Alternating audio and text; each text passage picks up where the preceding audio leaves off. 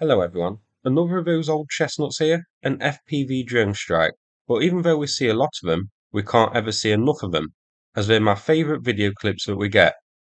Always good to see. This one here is targeting a pretty unusual vehicle, an MTLB mounted with a ZU-23 AA gun. In the video you can see that MTLB is firing in the clip.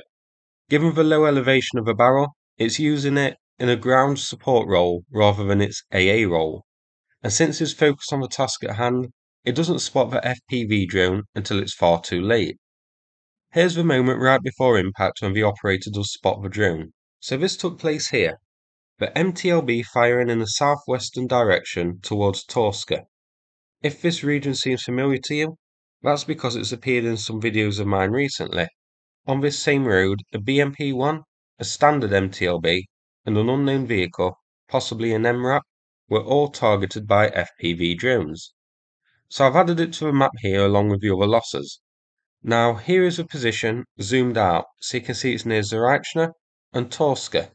And if we turn to deep states, we can see this is west of Kreminna, an area of high activity at the moment on the eastern front. As for the numbers, 22 of these MTLB variants mounted with ZU-23s are on Oryx so far, and Russia has an unknown number of these in service. So that's it for this video. I hope you found it interesting. If so, please click like and subscribe. I'd appreciate it. Thanks again, and take care everybody.